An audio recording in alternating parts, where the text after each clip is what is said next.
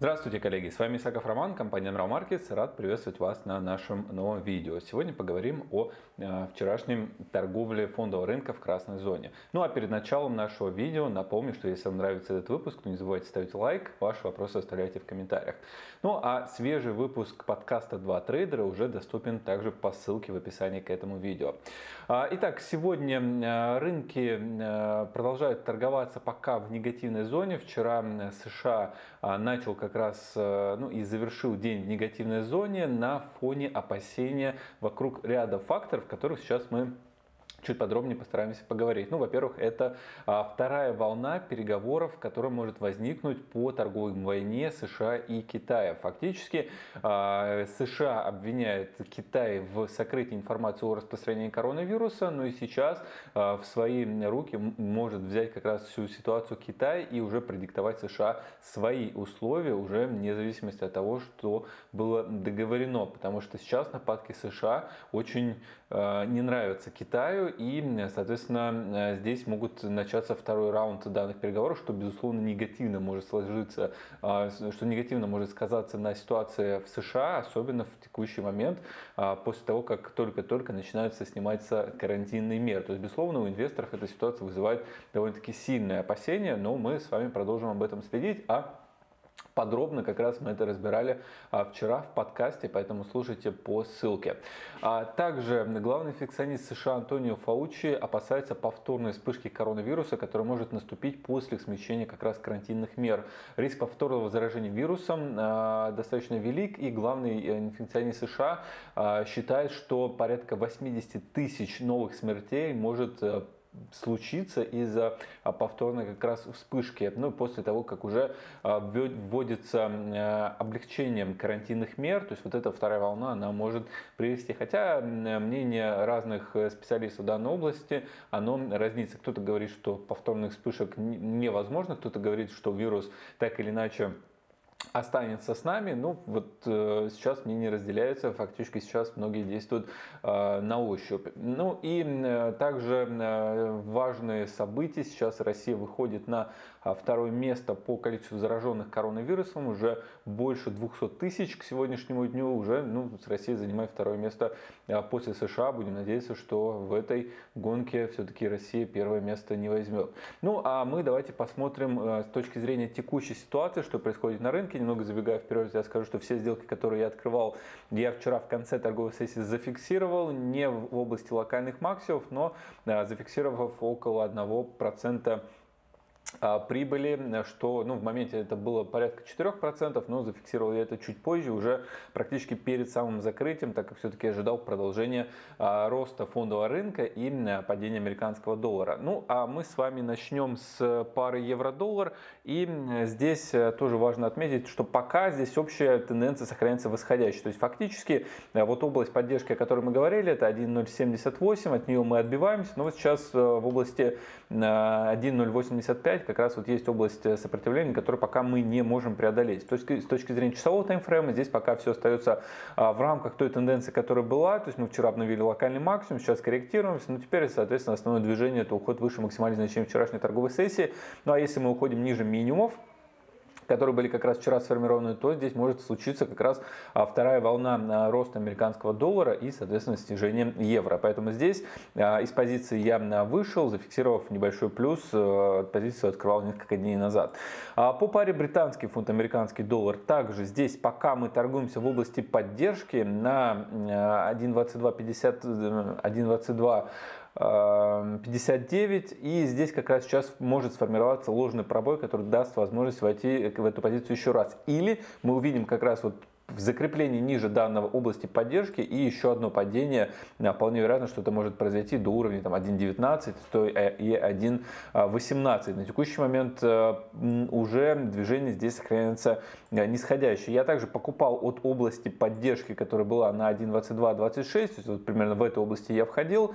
Вчера были попытки роста, но все-таки день мы закрыли снижением и также ближе к концу торговой сессии из этой позиции я вышел с небольшим а, минусом. Ну и, собственно, сейчас бы уже понимаю, что позиция бы сработала по стоп-лоссу, так или иначе у меня он стоял за минимум 7 числа. Поэтому здесь я пока буду смотреть, как ситуация будет развиваться вокруг как раз а, вот области данной поддержки. Вполне вероятно, что может произойти и отбой, то есть э, формация ложного пробоя и уже возобновление роста. То есть если здесь будут, э, соответственно, новые паттерны на вход на покупку, то их я, безусловно, рассмотрю. Но сейчас пока э, мы снижаемся на продажу, я здесь входить не буду. Э, по паре американский доллар, канадский доллар. Здесь ситуация напоминает больше треугольник. Мы движемся к в сужающемся диапазоне. Соответственно, здесь как сделки, как и на покупку, так и на продажу здесь вполне могут быть. Общая ну, динамика здесь сохраняется в виде бокового движения, на мой взгляд. Поэтому сейчас мы находимся в середине канала. Ни покупки, ни продажи здесь не столь интересны интересно, буду искать покупки в области поддержки на 1.38, ну а продажи, соответственно, в области 1.41 а, и, возможно, чуть выше. Поэтому пока здесь остаюсь вне рынка и наблюдаю.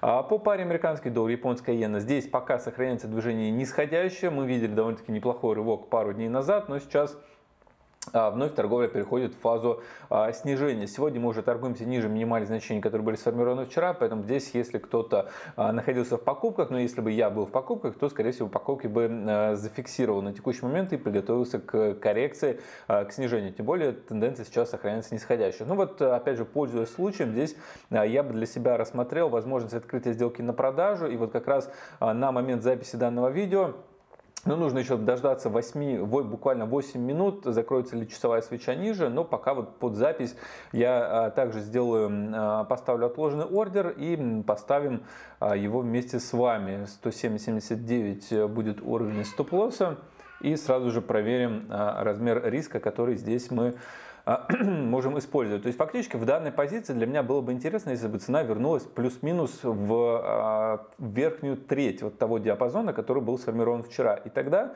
а, эта позиция для меня была бы интересна для входа. Ну, здесь мы видим, что риск полпроцента, но так как основное движение сохраняется нисходящее, то здесь я, наверное, даже а, добавлю еще один объем, то есть поставлю не двумя сотами лота, а тремя сотами лота. Я постепенно по мере накапливания прибыли увеличиваю объем для того, чтобы не рисковать той суммой, которую я а, положил на счет, а именно плавающей прибыли, что, а, безусловно, в условиях маржинальной торговли мне дает больше преимуществ и больше интереса. То есть первый, первый фактически год торговля была плюс-минус для того, чтобы нарастить как раз вот это необходимое необходимую денежную массу, ну а сейчас уже можно чуть больше сумму переводить на риск, так как я не рискую уже а, той суммы, которую вложил, а перекладываю сюда только а, ту прибыль, которая была заработана в ходе торговли.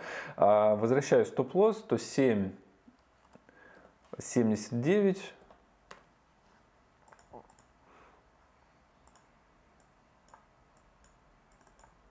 107.79, ну чуть промахнулся с одной цифрой. А, и, э, собственно,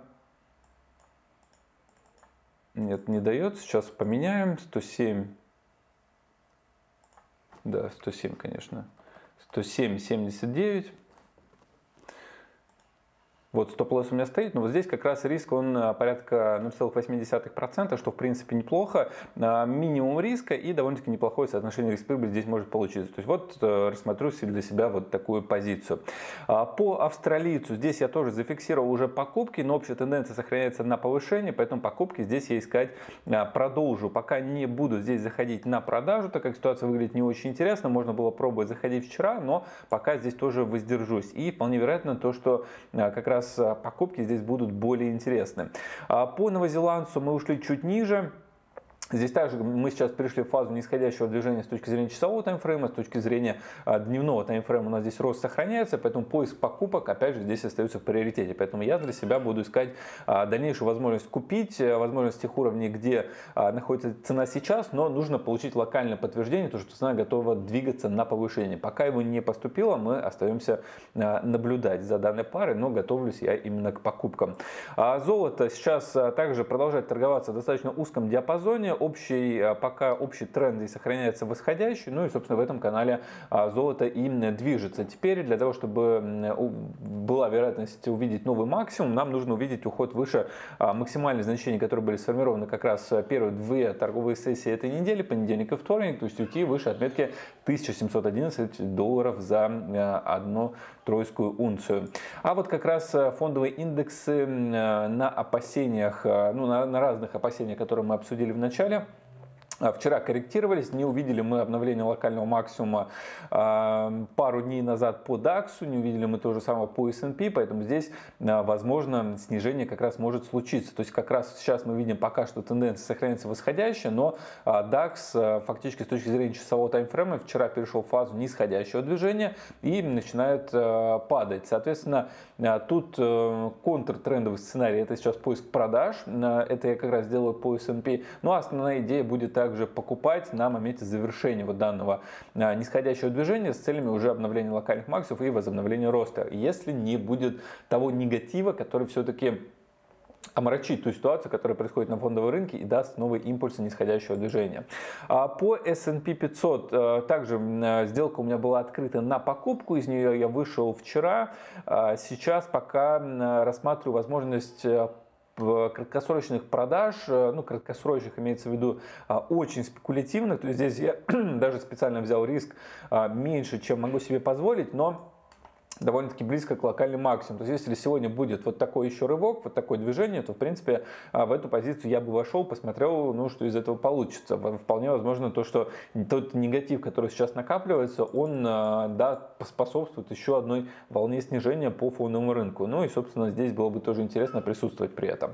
А нефть э, остановилась в области сопротивления. Сейчас мы не можем пока обновить локальный максимум, который в начале мая были сформированы, и движемся в таком небольшом боковике по CFD на нефть марки Brent. Мы находимся в области 28.91, пока общее движение сохраняется восходящее с точки зрения часового таймфрейма а у нас как раз вот формируются попытки начала нисходящего движения. То есть вот а, сегодня мы закрепились уже ниже локальных минимумов. Вполне вероятно то, что можем ожидать нисходящее движение и по остальным активам. К примеру, нефть по WTI сегодня торгуется а, ниже минимума вчерашней торговой сессии, что также нас переводит сейчас в фазу нисходящего движения. Это значит, что пока с покупками нужно подождать, а покупки искать уже, когда мы вновь перейдем в фазу роста. Ну и давайте глянем на фьючерс по WTI WTI, вот фьючерс пока остается э, в зоне роста э, на текущий момент, и э, пока мы здесь не обновили локальный минимум, поэтому здесь пока остаются покупки, возможно, что чуть позже это произойдет, но а пока общее направление остается здесь на покупку, то есть я для себя также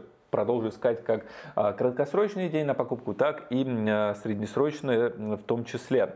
А, ну вот на сегодня, к текущему часу, это такая ситуация. С вами был Саков Роман. Не забудьте поставить лайк, если вам нравится это видео. Ну и ваши вопросы также оставляйте в комментариях. Всем желаю хорошего торгового дня. Спасибо за внимание.